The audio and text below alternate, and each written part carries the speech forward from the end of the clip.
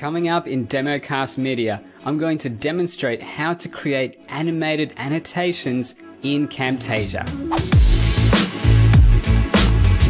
G'day, Paul here from DemoCast Media, helping you get the picture and make an impact with visual communication.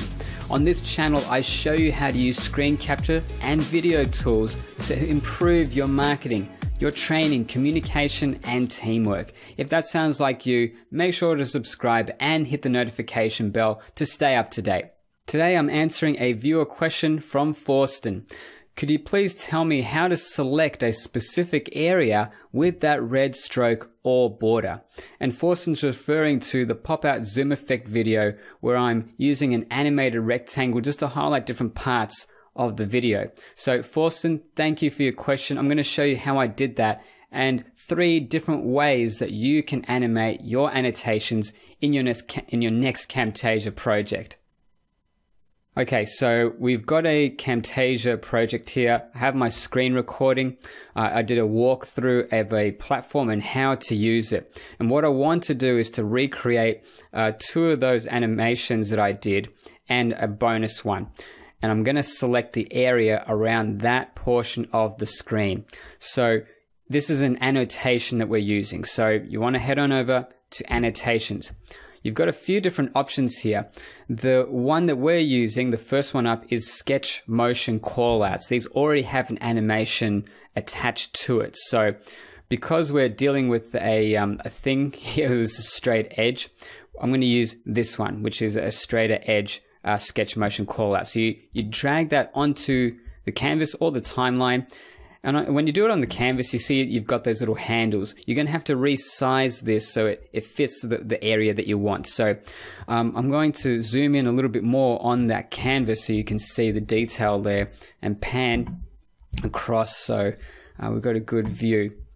Perfect. So you can see those handles there. That's where that sketch motion um, call out is. If we come down to the timeline, uh, you'll see that if I hover over it, the duration is five seconds. So if I just press play here, so that um, automatically creates that effect. It highlights a certain part of the screen. However, it's not the, the shape, the size that I'm wanting. So those handles. So to be able to resize this, you can hover over one of those handles and drag it so it covers where you want. So I'm just going to move the, the playhead here so it's a little bit easier to see. I'm going to zoom back out again and move this over to around here. It's got a marker there to help me out. Okay, great. So if I press play again, great. So I had resized it before and I'm going to adjust it. So to move this around, you just hover over that call out and move it around on the screen. I'm going to drag out those handles a little bit more. So it's a, a bit further around the edges there. And and if you need to make some fine tuning on that, um, you can simply click the call out, press control and use the arrows like this just for demonstrations. So I'll, I'll keep it like that. So I'm, I'm, satisfied with this. So if I go back to the beginning now and hit the spacebar, so that now highlights the section of the, the screen that I want. Now I can ch uh, change up the properties by clicking on the call out, going here to the properties panel, and you can increase or decrease the thickness.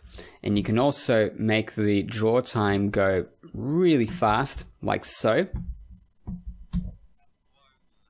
Like that, so you can barely see that, the animation happen, or you can you can drag that out further. So that's one way that you can animate a call out and draw attention to a certain part of the video.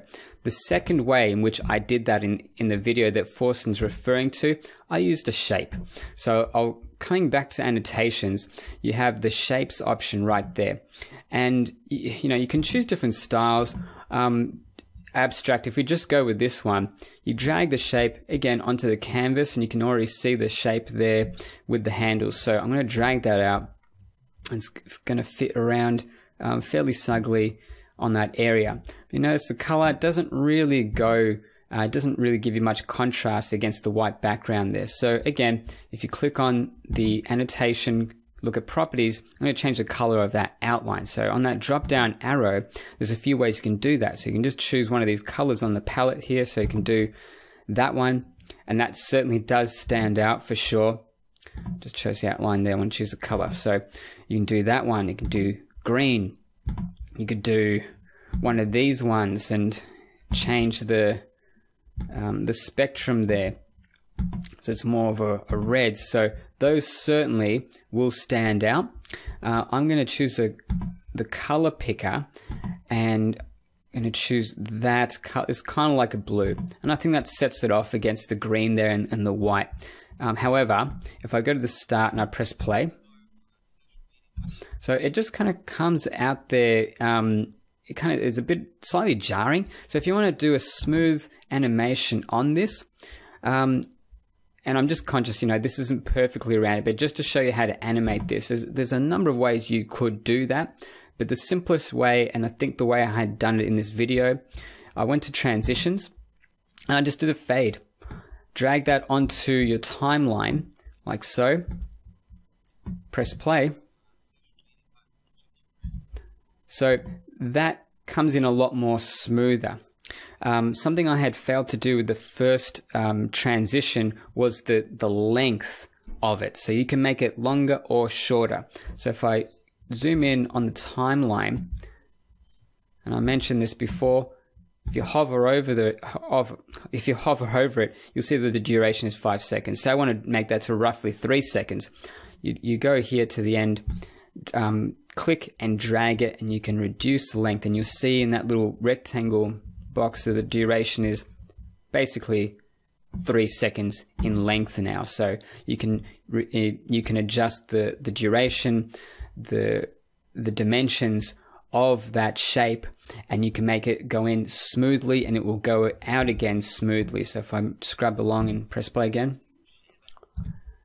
so that's how you can do that and choose the colors that it actually matches uh, against the platform that you're using, not just a random color or random effect, but something that's going to be easy on the eye. The third and final way that you can use an, an animated annotation is if you go back here and you can use a blur. I really enjoy using this blur. So Spotlight is another way, and I've used it traditionally with these particular um, uh, screencast recordings. You drag it onto this canvas, and it immediately you can see what this um, animation does. Use the handles to spread it out, change the dimensions, and as the name suggests, it works like a spotlight. Anything within here is lit up, everything else around it is made darker. You can change the intensity over here in the properties panel, make the edges darker or lighter. So we'll keep it around about that 50% intensity there. Um, similar to the shape though, if you press play, it just comes at you there with no warning. So um, again, you can just go back to transitions, use the fade, drag it onto the timeline. And I know that know, I don't need this to be five seconds. I'll uh, make this back down to roughly three seconds or so. And this is how it looks. And that's a third way in which you can animate an annotation. So the reason you want to be aware of these uh, small little tricks is to help guide your viewer uh, and to, I guess, hold their hand in a way. If you're showing them a process, you want to make that uh, as easy as possible. That reduces the cognitive load on someone trying to learn a process for the first time. So highlighting in that fashion by animating your annotations is a really great thing to use in all of your tutorials. They don't need to be very complicated, but those are three ways in which you can effectively animate your annotations. If you enjoyed this video, give it a thumbs up and remember to subscribe to get more content just like this. And thank you again, Forsten. If you have a question uh, like his or anything else around Camtasia or screen capture, video tools, screen share, video conferencing, please leave those questions in the comments section below. Thank you so much for watching and I'll see you next time.